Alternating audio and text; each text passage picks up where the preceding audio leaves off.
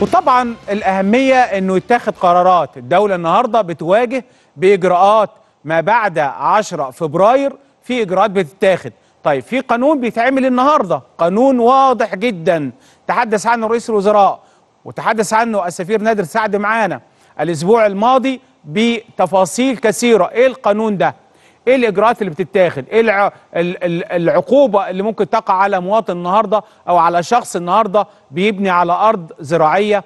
آه، بتاخد آه، إجراءات توديه محكمة جنايات بيكون جريمة مخلة بالشرف. لو في وظيفة عامة يترفد منها لو بيقدم على وظيفة عامة لن يقبل في هذه الوظيفة. إجراءات كثيرة وإجراءات رادعة عشان نصل إلى حل. وتاني بقول لحضرتك أخطر ملف النهارده أو من أخطر ملفات الدولة بتشتغل عليه الأرض الزراعية والبناء على الأرض الزراعية اللي هو بيهدد الرقعة الزراعية المتبقية اللي باقية من الأرض القديمة الأرض السمراء أو الأرض الخصبة اللي موجودة عندنا واللي بنتكلم على 9 مليون آه، فدان موجوده عندنا. النهارده بتعمل مساحات أخرى إضافية ولكن بتكلفك كتير جدا. هنتكلم هنفتح مداخلات هنتواصل مع عدد من السادة المحافظين خاصة يمكن المحافظات اللي فيها آه، تعديات كثيرة جدا ما زالت حتى اليوم. إيه اللي بيتم النهارده؟ وعايز أقول لحضراتكم من غير يعني ما أقول يعني حاجة سرية يعني جزء جزء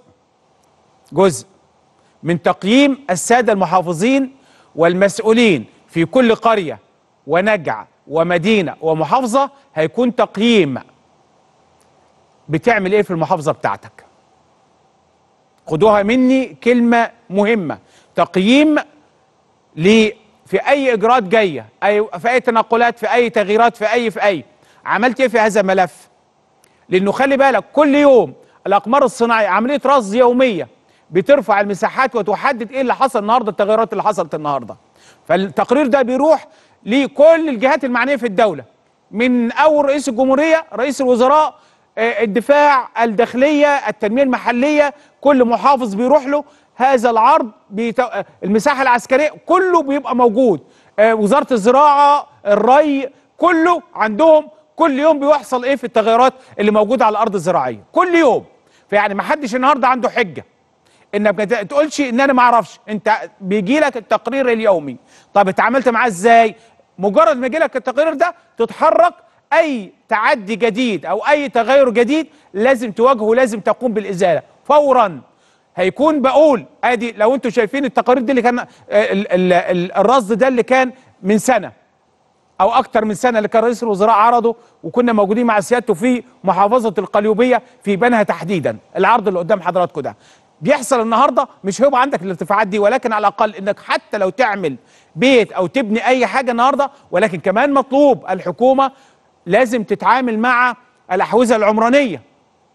لازم تقول لي إيه هو ده وإيه هو ده كمان. لازم يبقى إحنا إحنا بنقول للمواطن عليه دور وعلينا إحنا كدولة كمان وحكومة علينا دور آخر. لازم نتكلم عليه ولازم نفتح هذا لازم أخلص التصالحات. لازم نخلصها ولازم نحل هذا الموضوع. 2.8 من عشرة لما يبقى خلصت 30000 ولا 35000 من 2.8 من عشرة يبقى إحنا ما عملناش ولا حاجة لحد دلوقتي. لازم كمان إحنا علينا كمسؤولية الحكومة البت سريعا. في موضوع التصالحات وخاصة لو أنا بتكلم على القرى. القرى خلاص واخدة قرار وإنه كله آه، قرار واحد التصالحات في القرى. طب هل حلت القرى؟ ما تحلش القرى. حلينا وقلنا للناس الناس اللي دفعت النهارده فلوس ال 25% لازم أقول لهم يا آه يا لأ. لازم نحسم هذا الملف. وأنا بتكلم النهارده على اللي هيبني أنا بحاسبه. أنا كمان حضرتك قلت لي اتفضل لو سمحت قدم تصالح تصالح وادفع 25% دفعنا 25% بقالنا أكتر من سنة. عملنا إيه في ال 25% بقى لنا أكتر من سنة. لازم تقول للمواطن كمان أنا في الجدية طالما أنا قلت لك تقدم يبقى أنا عندي هذه الجدية. ولا ما كناش من الأول قلنا نعمل تصالحات. عملنا تصالحات يبقى علينا كمان ندخل نحل ويبقى في قرار واضح. خلصنا الجزء الأولاني نبدا الجزء الثاني. خلصنا الريف. ادخل على الريف. خلص الريف. الريف واخد قرار خلاص. 50 جنيه للمتر. نخلص الريف طبعا رقم واحد وبعدين نروح للمدن رقم اتنين ونخلص كل ده. يبقى بنحل الملف ده بالكامل طالما إحنا داخلين في هذا الأمر. عشان في ناس بيقول لك طب ما أنا دفعت بقالي سنة وسنة وشوية. عملت لي إيه؟ عملتلوش حاجة. خد الرقم 10 ولا اسمها إيه؟ رقم 10 لاستماره رقم 10 مين كم واحد خدوا؟ 35000 واحد من ال 2.8 مليون مواطن. ولا شيء. في, في الرقم الكبير ده ولا حاجة ل 35000 لا إحنا عايزين ال 2.8 يبقى عندي مليون خدوا. واحد ونص مليون. 2 مليون. ونقدر نصل للرقم السحري اللي إحنا بنتكلم عليه اللي هو بنتكلم على رقم يقترب من 70 80 مليار جنيه إذا خلصنا قضية التصالح مع المواطنين بمنتهى الدقة.